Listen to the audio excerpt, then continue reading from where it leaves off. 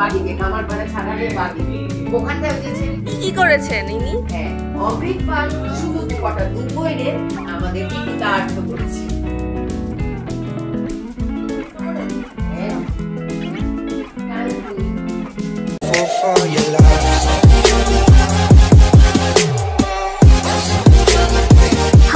স্বর্ণালিয়া তোমরা তো first of all স্বর্ণালিস টাইমে আশা করি তোমরা সকলে ভীষণ ভালো আছো আর এই মুহূর্তে আমিও খুব ভালো আছি। কারণ আমি হলুদ শাড়ি পরে রেডি হয়ে গেছি নিচে যাওয়ার জন্য। মানে আজকে আমাদের বাড়িতে সরস্বতী পুজো।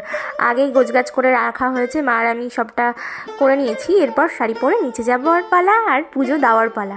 তো দেখতে থাকো কী হচ্ছে। চলো নিচে যাওয়া যাক। এই যে সিঁড়ির আলপনাগুলো, প্রায় এক বছর হয়ে গেল, তাও সেই একই রকমই থেকে গেছে। মানে আমি যতটা ভালোবেসে যত্নে এটাকে করেছিলাম, তোমরা তার থেকেও বেশি ভালোবাসা আর যত্ন নিয়ে এটাকে দেখেছ। তার জন্য অনেক অনেক ধন্যবাদ তোমাদের এত ভালোবাসা দেওয়ার জন্য আমাকে। যারা যারা ভিডিওটা এখনও দেখোনি, তাদের কাছে রিকোয়েস্ট থাকল, ঝটপট গিয়ে দেখে এসো, আমি ডিসক্রিপশনে অবশ্যই লিঙ্কটা দিয়ে দেবো। এই যে আমি এখন আমাদের পুজোর ঘরে চলে এসেছি, আমাদের গোছগাছও সম্পূর্ণ কমপ্লিট আর আমরাও সবাই রেডি হয়ে এখন ঠাকুরমশাইয়ের অপেক্ষা করছি আর ভাই গেল ঠাকুরমশাইকে আনতে। ঠাকুরমশাই এলেই শুরু হয়ে যাবে আমাদের সরস্বতী বলো। আজকে আমাদের সরস্বতী পুজো হচ্ছে।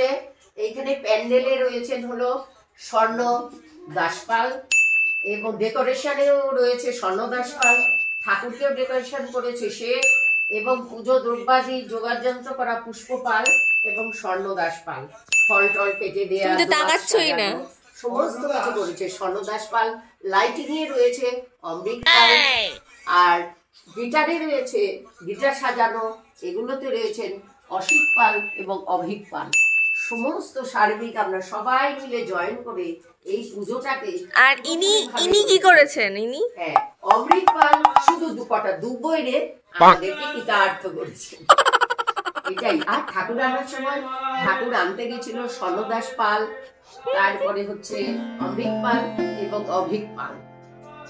আসলে আমাদের ওপরের ঠাকুরের ঘরটা ভীষণই ছোট। ঘরোয়া পুজো ছাড়া যে কোনো পুজোতেই ভীষণ অসুবিধা হয় জোগাড় যন্ত্র করতে। জায়গার মধ্যে ডেকোরেশনও ভীষণ ইম্পসিবল একটা ব্যাপার। কাজেই পাঁচজন মিলে আমরা পুজোর সামনে বসতেও পারি না ঠিকভাবে। মাকে প্রথমেই বলি যে এবারে সরস্বতী পুজোটা চলো নিচের ঘরেই করি। আর ফাইনালি আজ সরস্বতী পুজোটা সাজিয়ে গুছিয়ে সে নিচের ঘরেই হচ্ছে। ঠাকুর মশাই চলে আসার পর আমি ভিডিও করার সময় আর সুযোগ কোনোটাই একদমই পাইনি। কারণ সমস্তটুকু ধ্যান জ্ঞান ছিল পুজোর মধ্যেই। তার শান্ত সৃষ্টভাবে ভক্তি ভরে পুজোটা দেওয়া হয়েছিল যে কারোর মাথাতেই আসেনি ছবি বা ভিডিও করার। এত ভালোভাবে পুজো দিতে পেরে মনটায় অনেকখানি প্রশান্তি মিলেছিল। তবে কি আমাদের নিজের বাড়িতে যখন পুজো হতো তখন দেখতাম পাড়ার সব শুদ্ধ লোকের নেমন্তন্ন থাকতো সবাই ঠাকুরকে প্রণাম করে তবেই প্রসাদ নিয়ে যেত। কিন্তু এখানে নিয়মটা পুরো উল্টো। এখানে কার বাড়িতে কি পুজো হচ্ছে যতক্ষণ না পর্যন্ত বাড়ি এসে প্রসাদ দিয়ে যায় ততক্ষণ পর্যন্ত জানতেই পারি না।